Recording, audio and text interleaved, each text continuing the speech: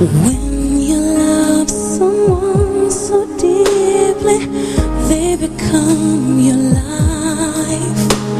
It's easy to succumb to overwhelming fears inside.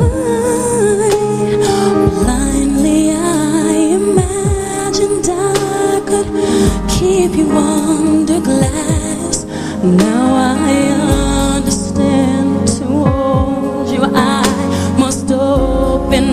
my